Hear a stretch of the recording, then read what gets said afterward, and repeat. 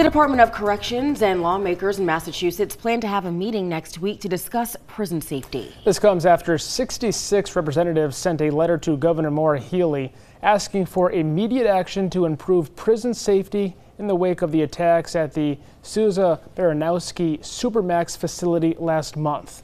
Five correction officers at the facility were injured after three inmates allegedly stabbed two officers and attacked the other three as the incident escalated.